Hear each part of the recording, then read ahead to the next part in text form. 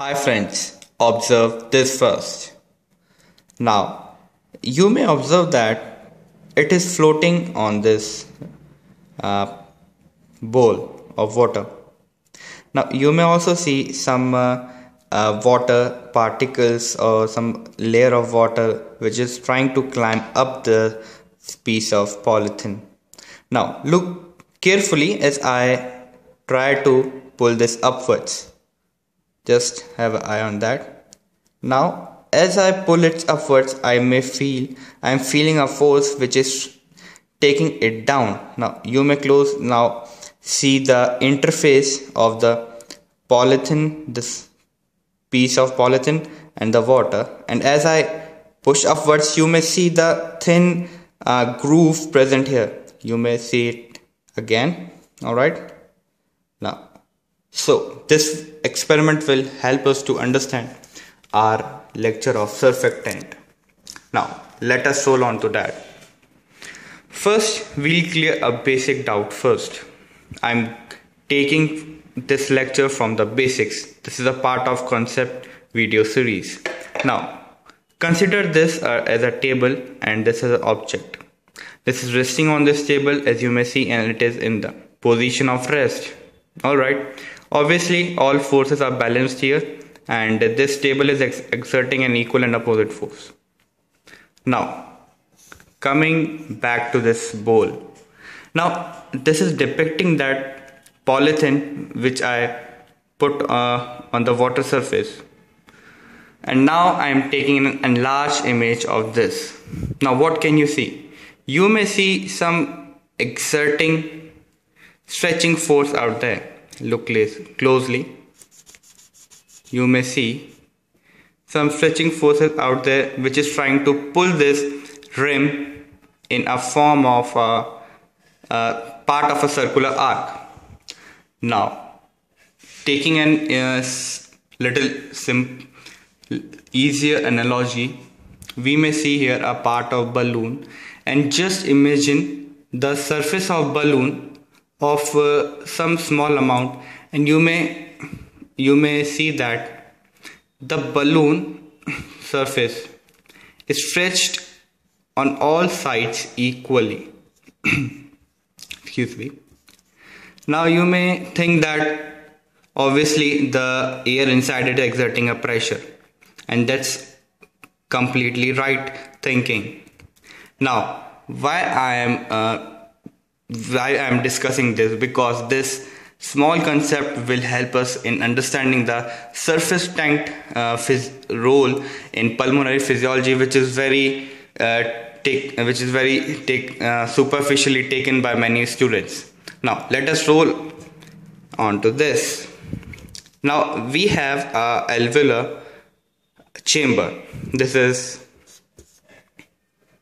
alveolar excuse me alveolar chamber or, you may call it air sac. Now we know that as we inhale the air, it exerts pressure. Now I'm not going into the diffusing uh, mechanism. We just discuss about the surfactant mechanism, which is a which is chemically most part of this is lipid. Now we can see the air and membrane interface also we can see the film of water molecule out there. Now relate this with our early experiment or analogy with this now. Or, and also I will help you in this. Now you may also I'm I have uh, shown you the section which we are interested in. Here you can see this rolling molecules which are surfactant all right. Actually these have both a hydrophilic part and hydrophobic part. You may see that this would be obviously the hydrophilic part and that would be hydrophobic part. Now what the problem is what why we are producing the surfactant? The problem out there is that uh, alveolar is like just like a balloon. It is obviously uh, we know that it is made up of elastin fiber it elastin protein which are elastic in nature. Now if they are very elastic then we have to you may notice that I have to stress a more to take a little amount of air. Now a body is great. A body is produce a mechanism to overcome that exerting force. That is done by surfactant now it the main role of this it lowers surface tension of water. Now what all i have uh, discussed is that um, hidden concept of surface tension. Now coming back to this you may see that this is a film of water all right? Now this is floating all forces are balanced. Now if you take a thin uh, if you take a line in this and you will uh, just coming back to here if you take a line drawn on the surface of water it is equally pushed opposite and on opposite sides. That's why it is an equilibrium. Same like here. It is a membrane which is elastic in nature. It is pushed and pulled. And now it is creating internal forces which against which we have to exert the pressure. When we inhale we actually uh, expand these compartments so that air can come inside. Now coming back to the real point what surfactant do is does you may see here I have shown the degree of stretching. Now you may see here that here we have low surfactant molecule. Actually this is just a schematic representation and this is just a, a basic way to understand this mechanism now you may see that here we can show, uh, see the lesser radius of curvature. I mean to say that it will give rise to a small circle and this will rise to a big circle. And likewise you can understand later on.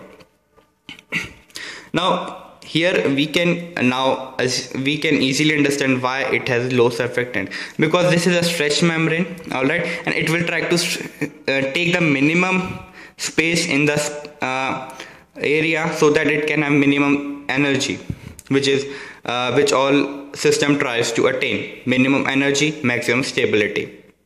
Now as we go beyond we can see the high surfactant because now it has lowered the surfactant of the membrane so that it has a less tendency to stretch. Now it is the main crux of the surfactant mechanism role in our lungs what it does is that it lowers the surface uh, it lowers the surface tension of uh, membrane. Hence we have to exert less force